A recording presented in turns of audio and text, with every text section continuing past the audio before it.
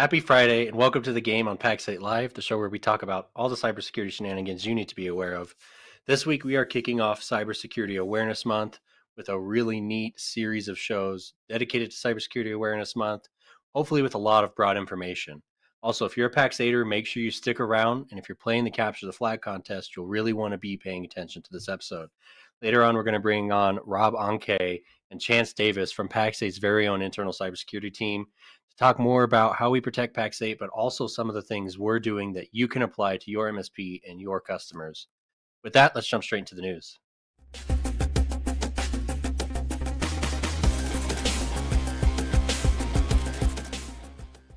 You know, Dom, What's up, Matt? there's some coolness here, right? Because this is the first cybersecurity month where I feel like we're really starting to see a lot of cybersecurity engineers be part of this. And here's why there's a super high level of snark in the comments about Cybersecurity Awareness Month. Like the memes I've seen this week, like, oh, this is the one month I have to care about cyber. And even in your own right, Right. Dom, right? There's a certain amount of just I'm so bitterness of about Cybersecurity Cyber Awareness Month. Month. Yeah, yeah, a little grinchy. Uh, we talked about it. But that said, it is the one month where we actually get to really talk about it, really focus on it, and in some ways highlight the unseen people that are out there protecting our worlds. And about the game and what we're doing in these next few episodes is we get to bring on the real heroes, the ones that we hope nobody knows their name, the ones that we hope people don't see on a given basis, but also the ones that you and I, Dom, often interact with, right? Matt, are you doing this on your computer? Yes, I am this time, Chance. Thank you. Sorry. Uh, and so it's fantastic to get to get spend some time this month with all of our security teams. So I'm really excited about this set of episodes, uh, and really excited because this is the first time at Pax8 where we've had a really big cybersecurity month, like where we're doing CTFs and we're actually really focusing on it. And that's all led by some of the vision of Robert and Chance and some of their team. And like, I don't know, man, it just gives me all the feels. So I suppose we'll get right into the, the news. But if you're paying attention uh, and you're on for this call, it's going to be a great conversation with some real security practitioners that kind of live this world and what they wish they could say to you uh, through the other 11 months of the year. so let's get started. We start with some not so great news. We actually talk about the outcome of some prospect me- medical hospitals in dire state uh, after a post attack. In August, an a-, a cybersecurity attack on a national hospital chain makes medical care in underserved areas in Connecticut even harder to obtain. And the reason is that they said hackers from Rizi- Rizidia, Rizidia, Rizidia, sorry, ransomware as a service group claimed responsibility for an attack on Prospect Medical that forced the hospital's chain's IT systems to go offline for several weeks following an August 1 discovery of intrusion, see California hospital chain facing ransom. Prospect Medical reported Friday to regulators that the cyber attack compromised the protected or PHI, protected health and personal information of more than 190,000 in- individuals, which doesn't even pale in comparison to the one in, in Michigan Right. last week. Swept up in the attack were there three Connecticut hospitals, which were under an acquisition agreement, which now we're actually talking about a buyer buying somebody that just had a, a attack on their system. Yale New Haven Health said it's having serious second thoughts about buying the deal. It struck in October 2022 to buy these three hospitals. Like, so now we're at this point where you're past due diligence, you're past all these aspects, you're past letter of intent, you're about to write the check, you're buying them. They're going, mm, I don't know. I don't think so. I don't know if we need to complete this deal. They basically said we have mounting concerns about the viability of our transaction with Prospect Medical Holdings to acquire substantially all the assets of Waterbury, ECHN uh, hospitals. Yale New Haven Health said in a statement provided to Security Media Group. Our concerns include deteriorating condition of the Waterbury and ECHN hospitals, so talking physical, particularly in light of the cyber attack last month and the State Office of Health strategy process to review the certificate of need application that we filed last month. So, you know, Dom, what I want to tackle in this speak is that this actually caused for the, for the first time I'm really quite aware of an almost immediate reversal of an acquisition agreement that's been running for almost a year, right? This was signed in October Right. 2022, so they've been working on this for a year. What are your thoughts on this? And do you think we start seeing more companies impacted by post breach events and what they're worth from that? Well, this one sucks because it's a hospital, and they're hospitals, and and the article states, you know, underserved areas, uh, Yep. in healthcare terms, and even areas where people are reliant on an emergency room due to financial hardship and other factors. If these hospitals don't make it, there's there's real challenges of real life, right? Like people's Yeah. health and and and frankly survival. From an acquisition perspective, if I think I put my business hat on, and I'm mid mid deal, right? Like you said, we're doing the due diligence. Due diligence is done. probably getting ready to, to go to the closing table.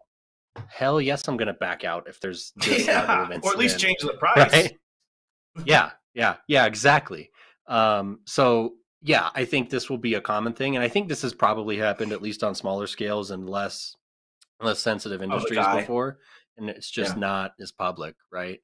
Um, so it sucks, but I do, I do honestly, again, if I was a buyer, I would probably make a similar decision, or at least extend the deal so that I can figure out what I'm going to do with it. Yeah.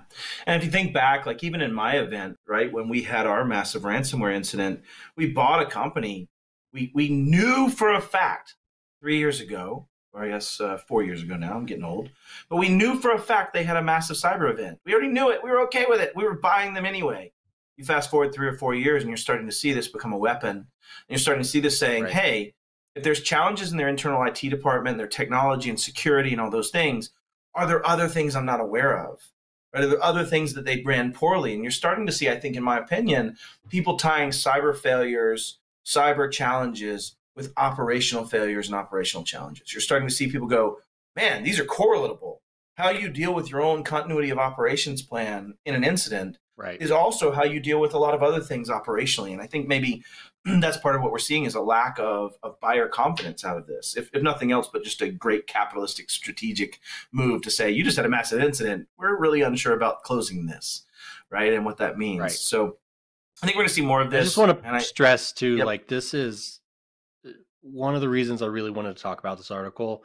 The acquisition deal aside, you're bleeding. You're talking about healthcare organizations bleeding huge amounts of money into IT incidents, and the ramifications that are real. We we kind of ponder about the the impact on real human life a lot, and and again, these hospitals shutting down with where they're located would be uh, probably now a devastating. four hour if we're being drive somewhere instead of 30 minutes, right? Or 10 minutes. Right. Yeah. Right. Yep. And if you think about that, that means that you don't have adequate care in the right places in an underserved populace that people aren't necessarily going to profit from either. And so you have this real challenge there. So yeah, it's a great call out. Right. And it, it definitely is one of the things where we're starting to see a direct impact to human life and to human operations from these cyber events. Mainly in healthcare is the easiest path to cross that over, right? We saw it in the Birmingham incident Right. with the baby that passed away as a result of them going to paper operations. But okay, so we beat this to death. I think the next one we want to get into is really kind of arguing for something to be aware of, right? This is a, a news piece. So let's kick over to the next article. LastPass employees and customers targeted in pervasive phishing campaign. One of the things that happens is that once an event happens, we know about it, threat actors use it against us. On September 13th, LastPass customers began reporting phishing attempts. A variety of industries, including LastPass own 87 employees, were targeted in what the employee called a widespread, pervasive, and convincing phishing campaign. They first got something from marketing at sbit.co, th, .th, which is weird because you already had .co.th, so you're a subdomain, um, associated with a domain that wasn't previously linked with malicious activity. Yeah, because you can buy them. That's how this works. You can make new Right. ones.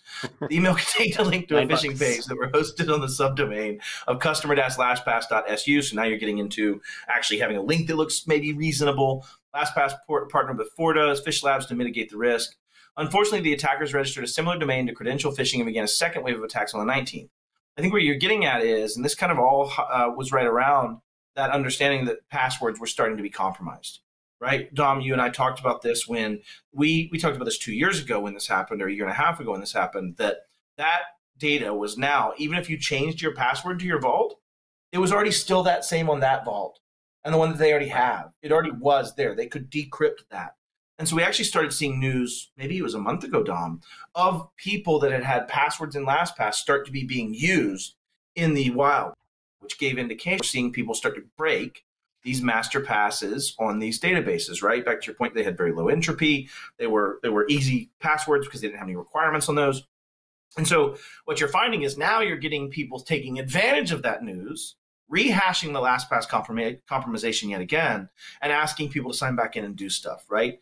And what's smart about that is it just shows you how well connected the criminal element is to the day-to-day going ons, right? To the understanding of the way people feel and the way people are going to react to something from a psychological perspective. And we're going to have Robert and Chance talk about some of this in our own organization about how phishing is is very insidious, right? It is one of the best attack methods. In fact, I do a talk called "How I Would Hack You," with Tom Lawrence and Jason Slagle. And my shtick is identity attack and compromise through social engineering and SE type methodologies using phishing as one of the primary mechanisms, right, for that lure. So I think, you know, this isn't surprising to me, I guess is what I'm getting at, Dom. I don't know. What are your thoughts on it? This is this is natural evolution of business as usual if you're a threat actor. I mean, COVID started, right, a couple years ago. Oh, we oh, yeah, all tons of COVID healthcare scams uh, such and such bank reports some problem now that it's just it's just normal and you have to be aware of that and i think if you're sort of quote the average person you need to have have in mind that if you're involved in some sort of compromise doesn't matter it could be lastpass could be anyone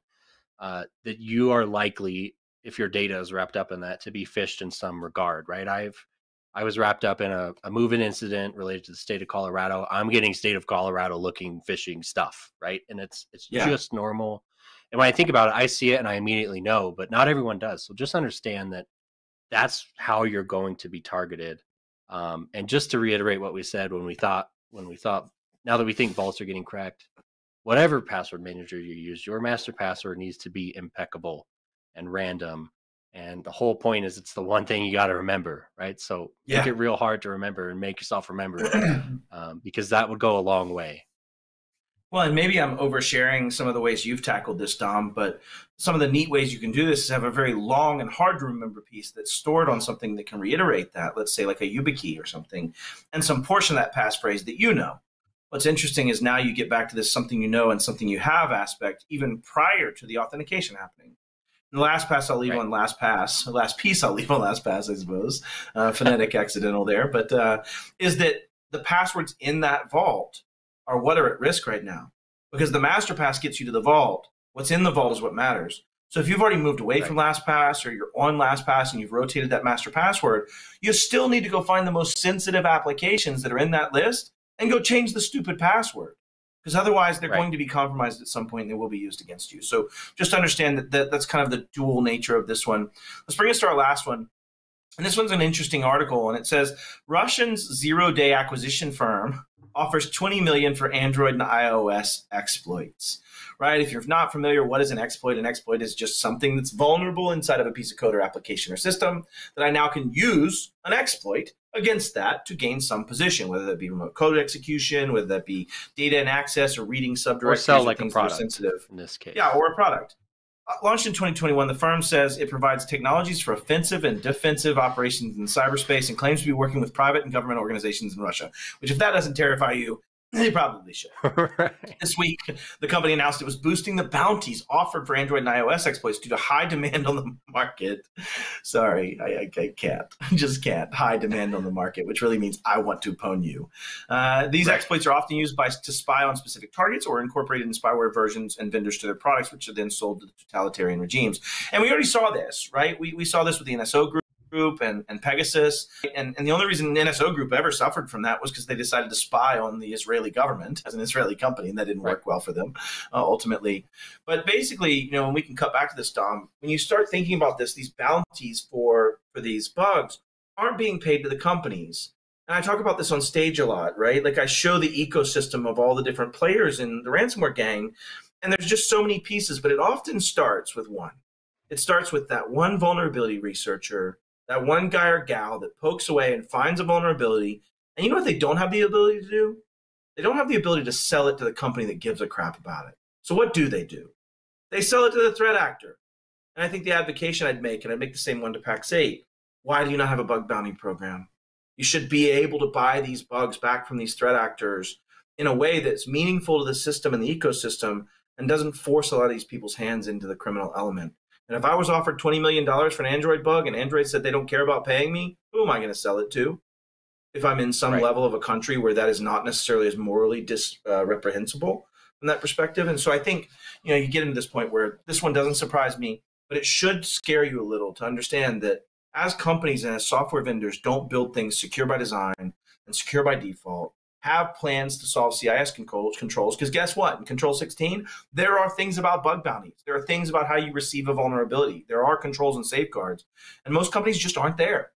And that's a capitalism problem, not a Pax8 or other company problem. That's that's a capitalism problem. So I think this is one of those that really highlights how inequitous the world is right now towards a criminal element compared to people that want to do the right thing. And if anybody wants to make fun of me in the comments, that's fair. I am a researcher. I do and would love to sell my bugs to people. Uh, I don't sell them bad guys. I finish that up with that statement. I suppose we should move on. Uh, Not even for twenty million bucks. Not even for twenty, maybe ten. Oh wait, that's twenty is more than ten, as I understand it. Um, maybe I'm in the wrong business. Perhaps. Let's hear some yeah. wise words from Robin Harris, and then we'll come back with our amazing guests and get into Cybersecurity Awareness Month.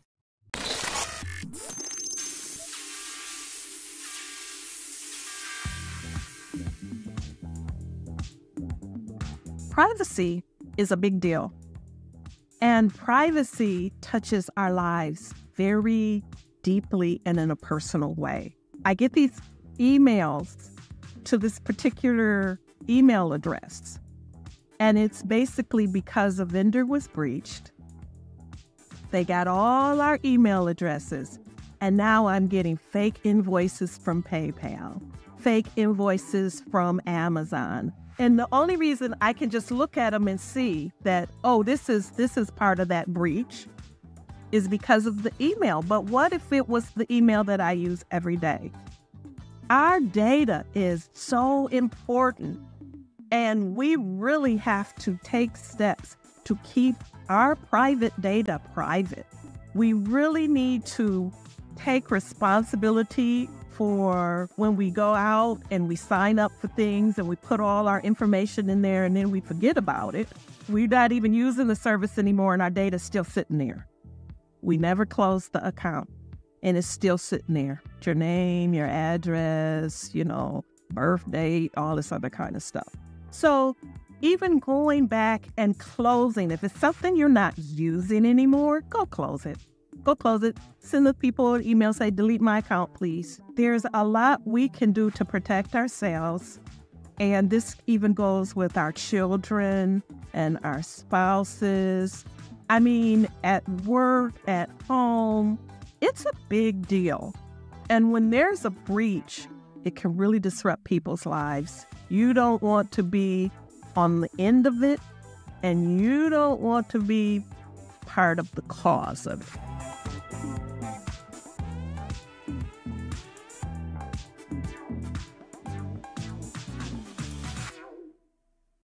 There you go. All right. And as as Robin's brilliant words, you don't want to be at the end of it and you don't want to be the cause of it. She's so wise, man. That's a, that's a bad death. that's a bad attach. Hey, before we get into the guests, there was a comment that came up before we started the show that I wanted to address. Sure. Um, about an incident with Clorox. And I actually haven't read much into this incident, but I think you read a little bit into it. Um, we got asked to cover it, so I wanted to make sure we we gave positive energy 34 hours a day and seven days a week on this one. Um, yeah, yeah, yeah, yeah. uh, sorry, that's a long day. To.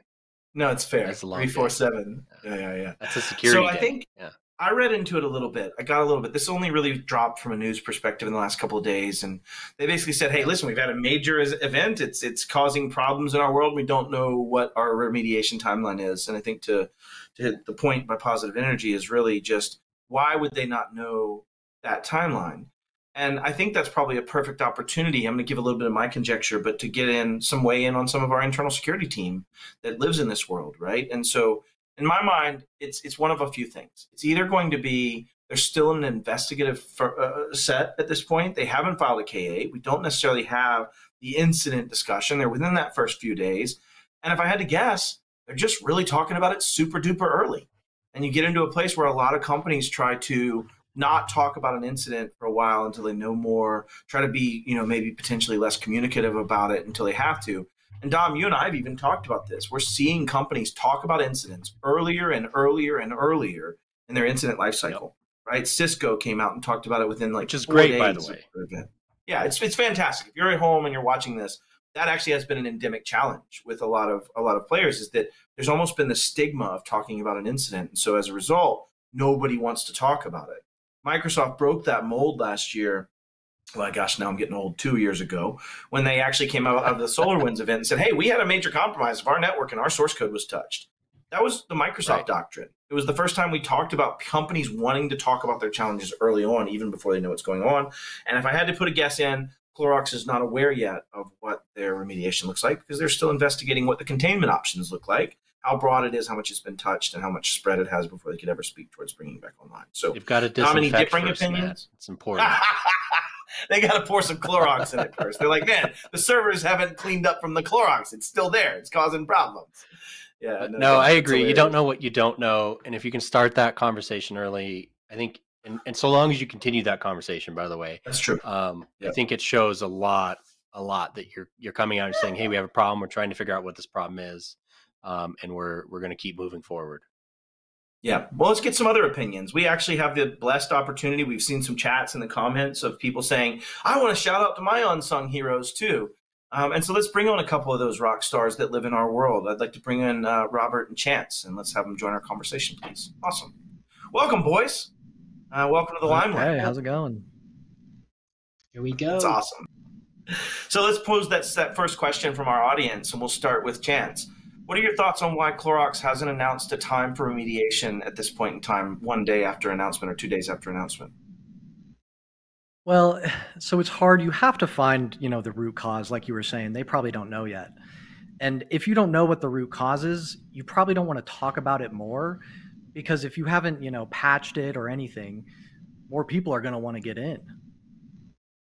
Yeah, And true so, story. yeah. In fact, we've seen that play out, Yeah. Chance. That's a great call out because we have seen that play out in, in former actor activity, right? And and people are saying, hey, they weren't popped by one; they were actually popped by three uh, different actors, and we've seen that play out in several incidents. Great call out, Rob. What do you think, brother? We're- We're just having some conjecture amongst friends here. For sure. Um, ultimately, there's going to be a whole like there's going to e- either be like a couple people working on one aspect of it and a couple people working on another. So like if there is there's not like a, a, a linear like we don't we can't find anything. We're we're digging through logs. We're looking at you know we're analyzing you know through the SIEM. There's there's not an answer yet. Everything looks fine, but we know that there's something happened. Um, sure. I'm not gonna share that. Hey, we haven't found anything yet. We're still working on it. right, right. You're not just going to share no news. Um, although the joke, you know, ironically, I think when you're dealing with a major incident as a company, the cadence is more important than what you have to say, as long as you don't overstate or, or wrongly state. And I think there is perfect value in saying we still don't know. I think to your point, coming out and having a regular cadence says, guess what? We're in a major ransomware incident. Don't keep bothering me. I won't have an answer for you. But if you'll go to this communication page, we're going to have an update every X. And that update may still be still investigating root cause analysis, still investigating root cause analysis, to your point. Um, and so, you know, we have that at Pax8, right? We have a status page when systems are down that speak towards, on some cadence, what we're doing and what we know and what we don't know, at least. And I think the other piece to wrap up that's a corollary, I was part of my um, I- I'm on the emergency response team with CompTIA, and we were writing some of our guidelines for the things we want people to talk about. And one of the biggest guidelines we give people is A, don't put anything in writing, and B, don't put anything in writing if you don't know what the hell you're talking about. The answer is just, I don't know. And that's an acceptable answer. I'm still working on this. So, Right. man, great, great calls from each of you. So, the audience doesn't know you. What I'd love to do is give you each an opportunity to kind of tell me who you are, talk about what you do, your role, and what that role means to cybersecurity in general. So I'll let you boys Rochambeau over who goes first, and, and then we'll uh, we'll figure it out. I can Uh, go well, first. I'll take that it. chance. Oh, well, if Oh, you want to be there we go. That was a Canadian standoff. All right, Rob, you win. I heard it first. um, well, I'm a senior cybersecurity analyst with PAX 8, um, and analyst is the big key there. I'm I am looking at um, you know the vuln scans. I'm looking at our, our current logs. I'm looking at any alerts. I'm you know constantly documenting. Um, just, just processes so that we can continue, you know, ultimately, hopefully keeping up our security posture. And I get to work with some really dope people in my team. So um, I'm happy to send it off to Chance at this point. yeah, and I would actually ask, how many times do you get frustrated having to go, "Hey, Dom"? Are you actually doing something? Darktrace just popped up, and you're like, "No, I was just reading an article for the game. I'm sorry." Does that ever come up into your world? Zero. you the- I mean, No. maybe there's there's a couple people that's probably watching Okay. right now that Okay. that that know. It's like, hey, hey, and then just emoji conversations over over the the chat It's for fair. sure. I, I, hope I've never been a part of your emoji conversations, but I'll turn it to Chance on that one. Real quick, I'll say I actually like it when we get alerts for people like Matt and Dom and stuff because it's going to be an easier conversation. But, anyways, I'm Chance. I'm a cybersecurity engineer. I mostly help architect tools and stand them up, and um, I'll help with like data collection for Rob. You know, if we need to pull data off an API or whatever, put in the Power BI. We do a lot of that. Um, and yeah, that's pretty much me.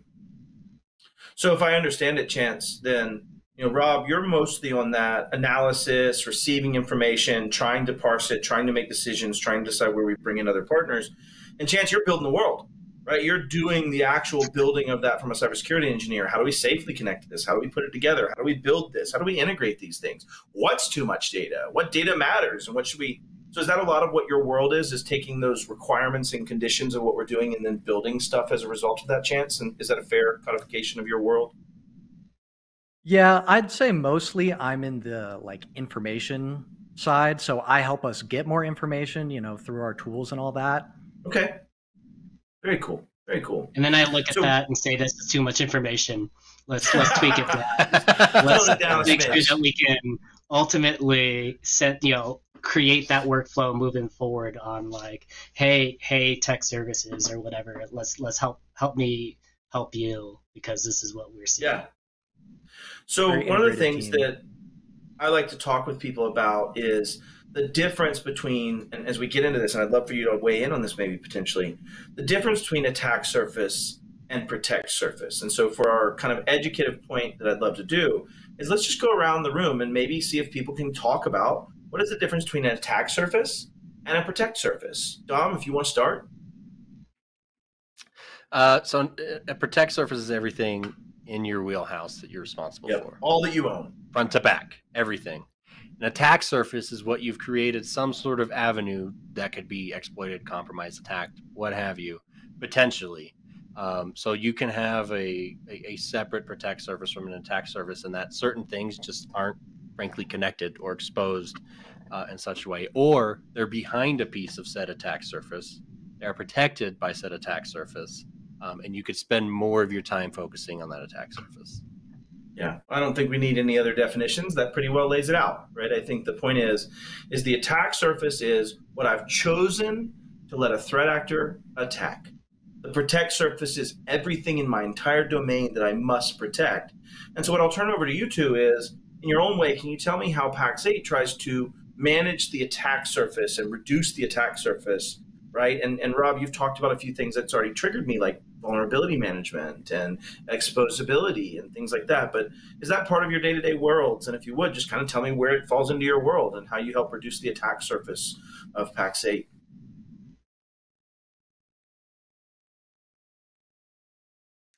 Well, I'll let Rob go on that because yeah, yeah because that, I'll go, I'll go, I'll go, I'll go. Okay. Yeah. So, so if it what you guys talked about with with the protect surface is like everything that you put out there, um, and ultimately, like from what, what we see is, you know, if we're gonna think like the actor, it's that that's trying to to get your information, like what what can we easily get and what what's the best value of trying to get information from this user? And typically that's like oh you know full names that's email addresses that's phone numbers birthdays bank account information all of the above. Um, and i guess in the pax8 world it's like if we, we need to make sure that if we're going to put this information out there specifically for work uh, you know press the button sensitive sensitivity label. And then the things that we're working on, the tools that we have already have those walls that come up. Right. Yeah. And that helps us make sure that that information doesn't get shared. Um, in like outside of work, that's that's kind of up to you, right? So if you're going to share stuff like in, in, in, social media, or if well, you I, have, I, I don't want to get past this. I don't want to escape okay, this okay, one because. I think it's actually that valuable right? So you yeah. just touched on one piece of reduction of the attack surface, which is by not allowing data that's sensitive to leave our organization, right? And when you think about that, you're getting into actually saying, hey, I'm going to have 3.7 in CIS, which says establish and maintain a data classification scheme. But I'm also going to then have 3.11 that says encrypt data at rest. I'm going to have things that like 313 that say reduce the law, data loss prevention, introduce a data loss prevention yeah. solution, right? And what's interesting is I think you, you actually nailed it on the head with one simple phrase. We ask people to say how sensitive is this data, and we ask them to sensitivity label it, which means if I say something secret or in organization, then the actual attack surface of that data is reduced by the fact that it's encrypted, by the fact that it's done with Azure Rights Management, by the fact that it's now automatically and systemically protected from loss, which means if I steal that data, it's not valuable to me, which means you took something that right. was in my protect surface, data that's sensitive, and implemented controls based on that catalog categorization to bring it down to a lower attack surface that that data is now in an encrypted state that can't be removed. And so i really think that's pretty big. And I like I like to talk to security practitioners because we can kind of just highlight those things that you and I just go, oh yeah, we have sensitivity data, we have sensitivity labels. But what does it really mean? It really means we're reducing our attack surface and we're encrypting data and we're satisfying three or four safeguards in CIS with raw data. So I just didn't want to let that get completely glossed over on that one and it's and it's it's it's sometimes it's like a new thing to do right it's like i'm i'm sure. popping these excel sheets i'm doing word documents i'm doing like i'm sending emails out to folks on my lead and i'm like hey i'm coming up to the end of the quarter i got to get these out right and ultimately it's it's not like an automatic behavior and that's something that we got to learn right and that's something that we want yeah. to you know provide some awareness in it's like it's that button if you need to move it on your on your ribbon just so it's bigger you click it and then you, you can go about your day. I feel I feel like that'll definitely help us on our end, like yeah. protect you guys for sure. A lot easier. Yeah. Hundred percent. So, People chance I'm asking the same question. Email thread, and I hit a reply, and I suddenly mark their whole email thread Pax8 confidential. It's their favorite. Doesn't annoy them at all. I love that you're telling on yourself, Dom. You're right. It's their favorite. Now they can't use this email thread with anybody except for signing into their custom portal. I'll turn the same question on you, Chance. Like, help me understand in your mind how you and your organization, I think probably on the engineering side, probably almost have more of this in your day to day but how do you help reduce the attack surface when the protect surface is unlimited? How do you help that impact safety? So you got to kind of do like a risk analysis. You got to know what's important to protect and what isn't. And so if we have our whole protect service, we have to prioritize what we think is, you know, important. So we've got our endpoints. We use EDR. You know, that reduces that attack surface a lot for endpoints. Yeah, and uh, sure. you know, general stuff like that, like we've got email protection and all that and so protecting data and identities, vector, right? Yeah. Yep. Well, so data and phishing and spam and all that, you know, I think you have to make it as easy as you can on the end user to not be the weak link. True story, bro. One hundred percent. One hundred percent. I think that's probably the codification of that point for you, Chance. Is really, you know, the Brian Krebs theory, which really is this: make it harder for users to do the wrong thing and easier for them to do the right. And I think that's a great point you're making is that a security operations team and some of the things you're doing to help keep data private and, and, and inside our world are directly one to one correlatable to a lot of those statements, right? So it's fantastic. Very good. All right. So I actually have a video we prepared. And for anybody watching the video that's going to give you your CTF key, sorry for playing with your emotions like that, but the next one maybe. But I want to introduce what is Cybersecurity Awareness Month where does it come from? So if you guys don't mind, let's go ahead and roll that video for us, and we'll talk about where CSAM started or, or Cybersecurity Awareness Month started.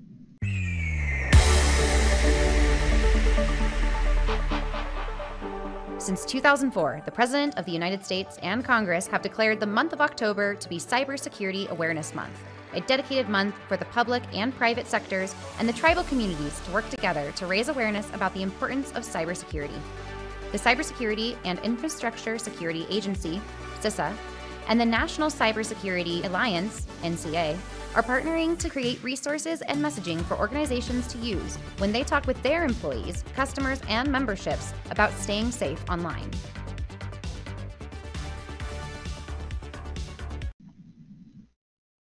So, thinking about Cybersecurity Awareness Month and how we're in the middle of this, we started, you know, what I'd love to have you talk about for people is how can they be aware of protecting their own private information and data? So let's take this away from Pax8 and let's just get advice from practitioners. Rob, why don't you start us off? How can people protect themselves online? How can I protect that private data and private information? I mean, you can literally just stick your computer and bury it in concrete and you know stick dirt on top of it, and you'll Good never strategy. Be There's a balance of found. accuracy there, though. However, Uh, Right, right, right, right. But I mean, it's you. You just have to be aware of what information you share on the internet, and that that includes like what I said earlier. Sorry, and then you reeled me in um, with social media. Um, whether you know, you know, setting up all these accounts um, that that goes out there that you know that you're tr- that you'll have a password you know associated with things like that. Um, and I mean, and then when you have when you pop children out, you have to be aware of what they're putting out there as well, or and and ultimately provide some sort of, um, you know, you know, be, you know be, being a good cyber aware parent is a big thing in our house, especially since I've you know, you know, children that that are now being online. Um, so there's there's a couple aspects of like recognizing where what your digital footprint is and ultimately practicing any digital hygiene that you can do not only for yourself but for the people around you um, Yeah. recognizing hey is, how is my kid a target recognizing how my mom is a target or my Yeah. grandparent is a target and like you know you you put cybersecurity on your LinkedIn profile and now they go to you when they get scammed. So it's it's practicing what you preach in every aspect of your life. it's a little bit of I, what I love Henry Tim's answer in the audience. Henry says thermite, OSINT poisoning, data broker removal, and minimizing metadata. And we're going to tackle a couple of those, right? OSINT, real quick, stands for Open Source Intelligence. So we got a little acronym game going there for OSINT.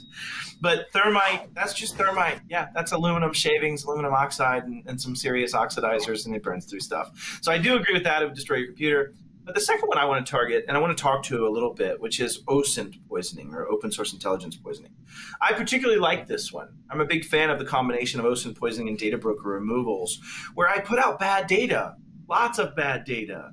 I think I have like 19 birthdays a year based on the different platforms I'm in. I have five different cities I live in. I have many different addresses. I have 20 different email addresses that are all bogus or fake or potentially real. And so you get into this world where scattering bad data out there along with your good data and then reducing the good data is an strategy. So let's talk about that. Um, Chance, one of the things that we offer to all of our employees is a way to help reduce that data from data brokers and data broker removals. So tell me a little bit about that. What do you what do you, we do here for our employees around helping them remove some of that data that's out there? So we have a service uh, that we, a company that we partner with, and they do like credit monitoring and they do, I think, like dark web monitoring and all that. Yep. So they have your information and you've consented to them having your information. And they will use that information to see what other information might be out there, what might be getting used against you. You know, someone tries to open a credit card in your name, you get an alert and all of that kind of stuff. Yeah. And I, I think that one two strategy of paying for a data broker removal service, there's tons of them out there, right? You have like Lifelock, Aura, you have a bunch of different players out there. But if you're personally at home and not using a service like Aura or not using some kind of data broker removal service, and you ask why is it valuable? Well, because all of these brokers that buy your data also provide that data out to others. And if I'm a threat actor, I pay for that data because I can attack Yep. you with it. So I use it.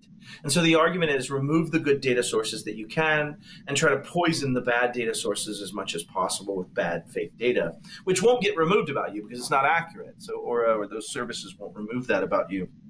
And I think what's interesting about it is Pax8, and, and maybe you could correct me if I'm wrong on this, Chance or, or Rob, understand the value of the human that works for them and how many ways they can be coerced. You know, and that's one of the things that people don't think about is back to your point, Rob, where you said that maybe grandma's a target or maybe your junior's a target. It's not a far leap of logic to force someone to do something from a compromised position by targeting someone else they love. Right? We've seen these scams where there's child sexual exploitation, things that we've talked about in the past with Lindsay and her team.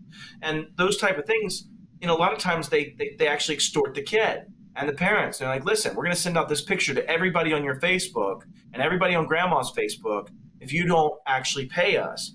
But how far of a leap of logic is that for that to jump from extorting based on you to do something to extort you to do something with your company? right? And we've seen that play out before. We've seen extortion worked where someone would compromise a Matt Lee and force me to take advantage of my privileged position to do something inside the organization, Matt Lee. And so that's one of those concerns I think that it's really great to see a company like Pax8 actually paying for these services for all of the employees to realize there's a correlation between real Matt and Matt that works at Pax8. And those two have overlap in some Venn diagram perspective. So one of the things that we've seen, I don't know who wants to speak to this, is like you see shifts away from cookie based data moving into the browsers themselves holding the data and general understanding of like even power uh, plugins and how those interact with your day to day private lives. Can anybody speak towards like how the this shift in where our data is and that the main access point is our browser is also turning into more challenges for us? I'm going to set the stage just a touch more Okay. before we dive into this because a lot of people don't know this. Historically, you visit website A, website A sets cookie on your browser, right? Cookies are hugely important, by the way. It's how you log in, it's how they track people for load balance. There's a lot of functional uses for cookies. So they're not bad. It's how you cheat Let's say I visit. No? yeah, they do. They do. An, that's not a good thing, though. It's not a good use of a cookie. Uh, so, so if we expand that, like, let's say I go to website B, and website B has advertising partnerships with Meta or Facebook. They have advertised partnerships with Microsoft. They have advertised partnerships with Google, etc. Right? Amazon is a big one in this. Uh, now you get a cookie from all of those websites, and then I go to website C and I get a cookie from the same list of companies, and et cetera, and etc. And this follows me around the internet, right? And eventually, I have an anonymous identifier uh, based on this this set of cookies, and I start to understand exactly what you do. And I've done this from the marketing angle of targeting people, and I could target the dude who lives in five cities, has 19 birthdays, and a beard, and present him with ads. I know a guy right? like, Like that. we can we can do that. Um, yeah. now flip that, and Google has come up with this this kind of ridiculous idea of saying, "You're right, guys. Y'all hate cookies. You're all blocking them with with with plugins and whatnot." So what we're gonna do is we're gonna add a feature to our browser that does the same thing just locally, and then every website you go to, uh, we send in a header that says, you know, Matt really likes gluten-free tacos. Like that's his Does, thing. loves them. Fantastic. like and so now we're saying still relatively anonymized in the grand scheme of things until we find a way to exploit this or, or what actors do um, which won't take long by the way.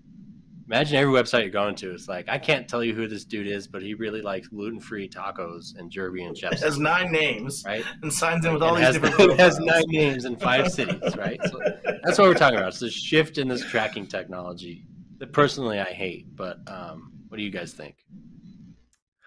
I also kind of hate it, but I could see some upside to it.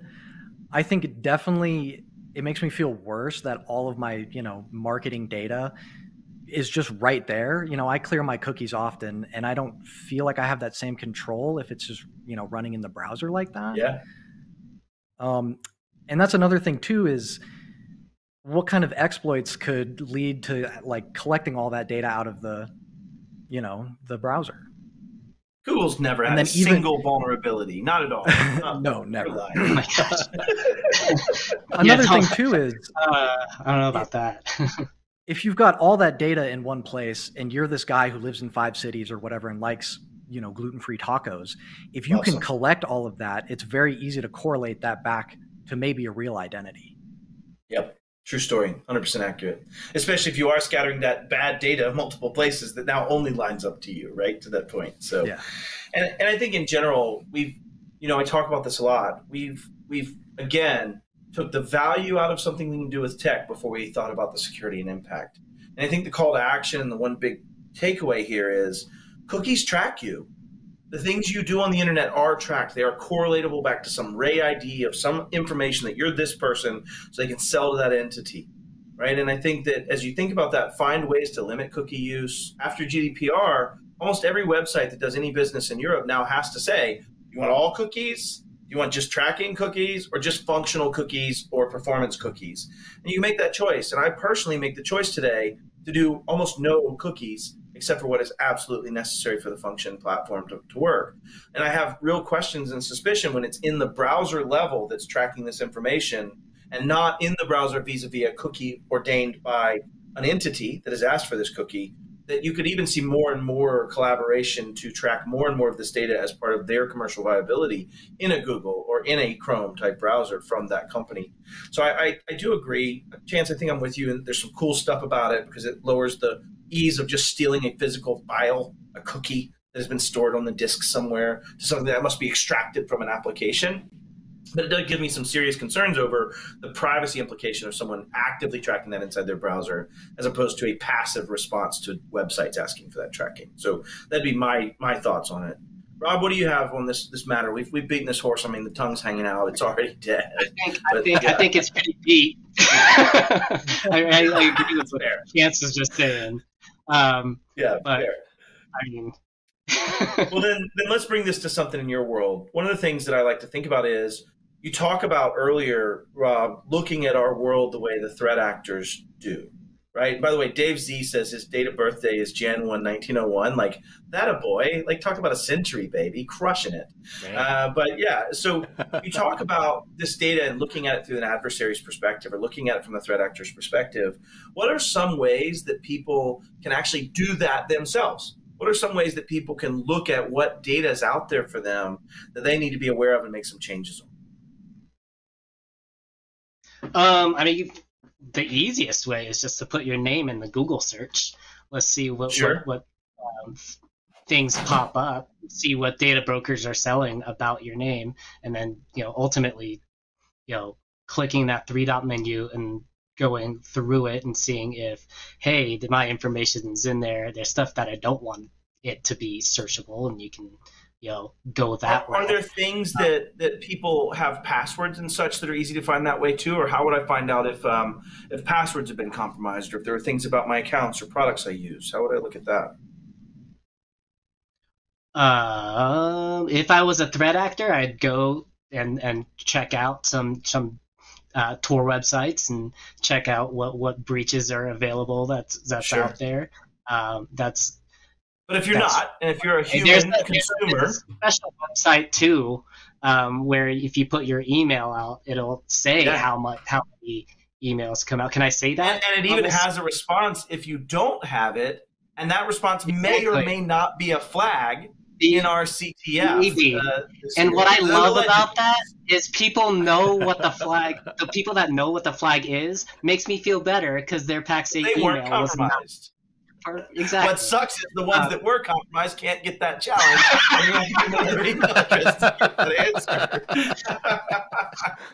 or they can make a friend. I think my I mean, number's only is, at 19. There is a group that they can, you know, commiserate. Go join. that brings me to another point. I want to do a couple things real quick. So first, we've actually prepared a pretty cool video of just a few basic things you can do to protect yourselves, and I'd like to roll that and then we'll get in and talk about our CTF. And then for all the people that are work at Pax8 that are hanging around, I know why you're hanging around, and that's why I'm doing it at the end, not right now. Uh, so it's great to have you here. We'll be back in just a minute. Check.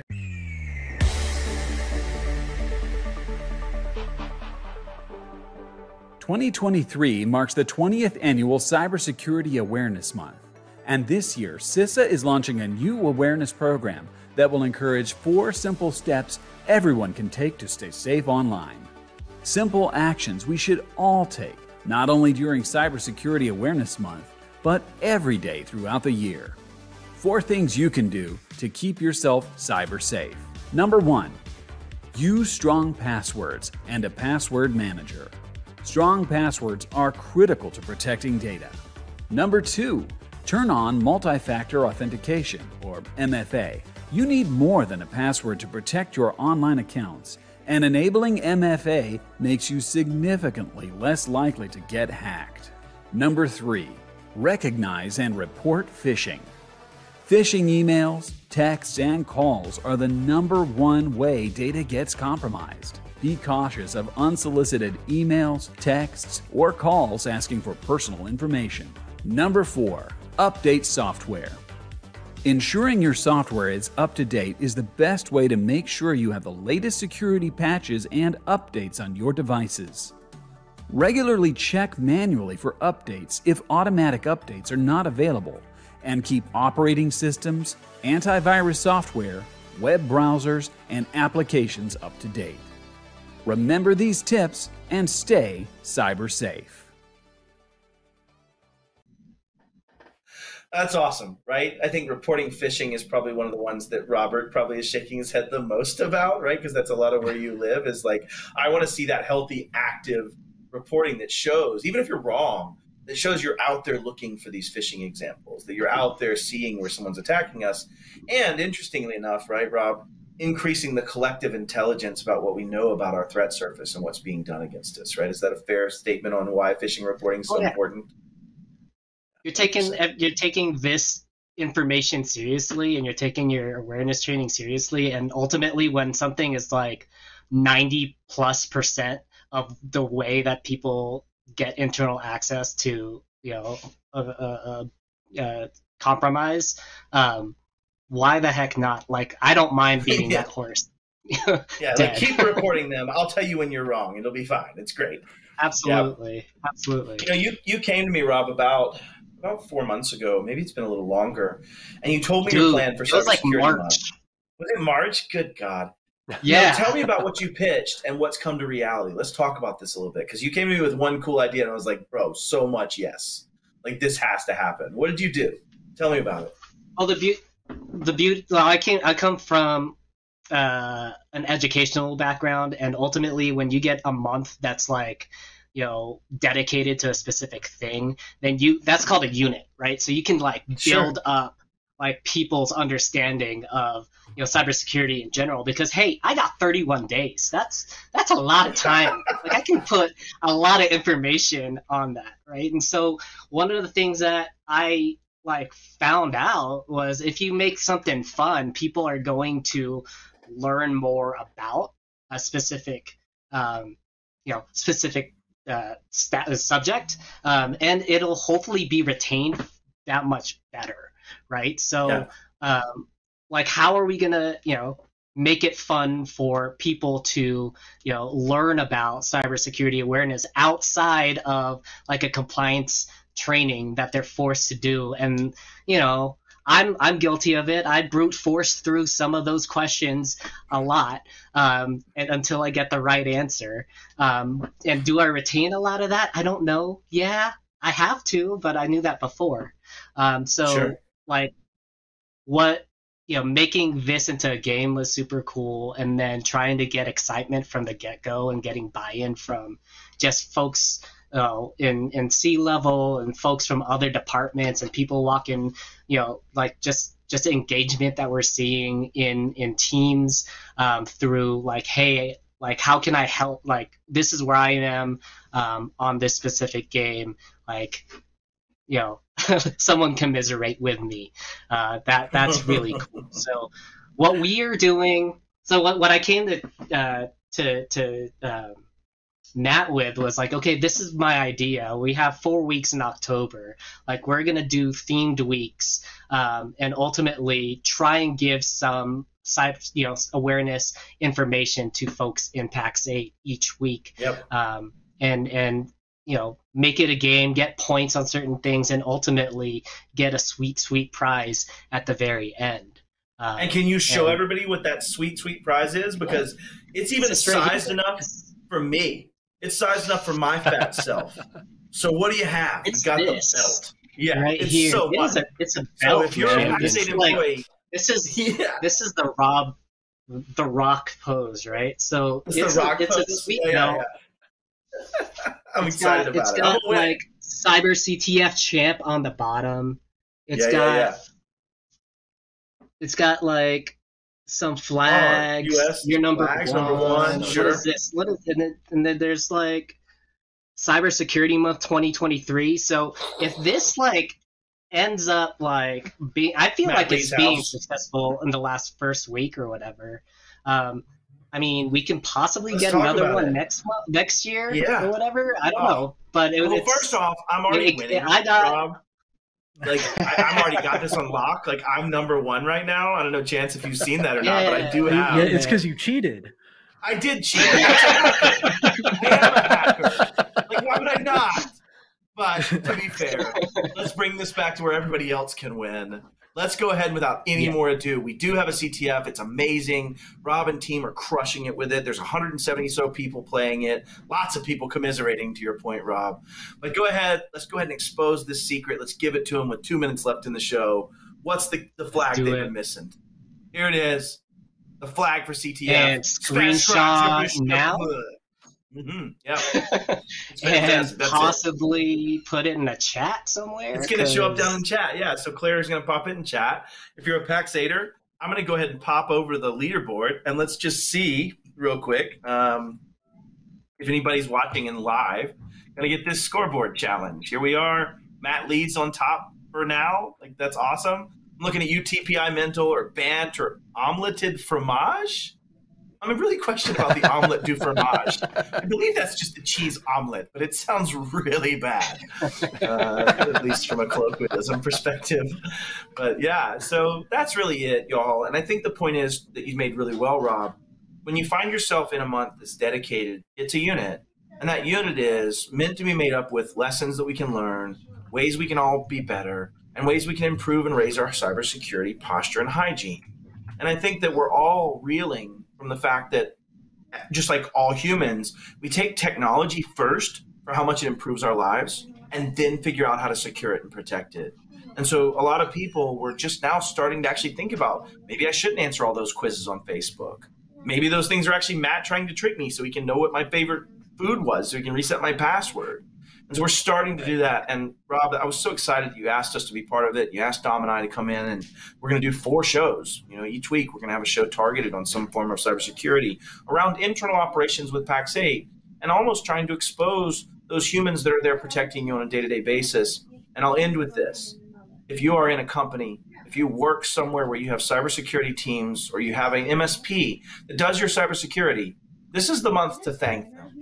This is the month to say, I get what you're doing. I don't want to learn all this stuff. It's a pain in the ass. It's too technical. and that's why I need to trust you. And that's why when Rob or Chance comes to me and says, Matt, I need your attention, I drop everything because they are the ones protecting me. And I appreciate y'all. And I'll start by saying thank you for everything y'all do. And I'll spend each of this now the next three weeks making sure we spend time thanking our teams that protect us every day. So God bless and thank you for all you do. If there's anything you want to close out with, say it now or forever hold your peace. And then we'll see y'all next week.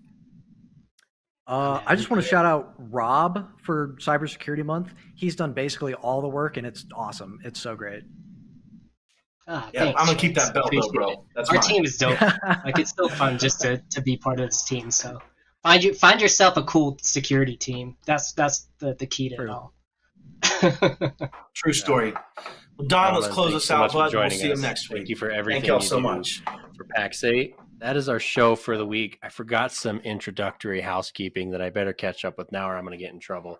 Don't forget to like, share, subscribe. You guys did a lot of commenting today. We really appreciate that. That's great. PAX Yeah. 8 Beyond registration is still open. And last I checked, it is officially Q4 early next year. Uh, pricing goes up for Beyond. So if you're at all interested, grab your ticket now.